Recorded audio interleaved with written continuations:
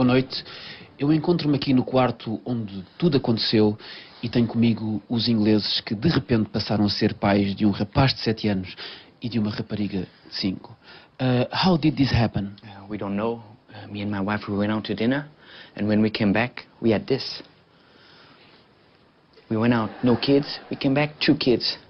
Tell me, how, how is this possible? How is this only in Portugal? Because in England, this could never happen. How did they come in? We don't know. Um, we think somebody brought them through the window because um, my wife left it open. Yes, I'm still in shock because we never wanted to have kids.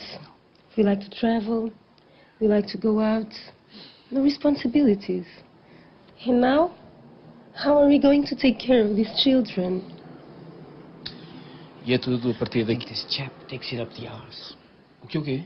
Oh, nothing, nothing.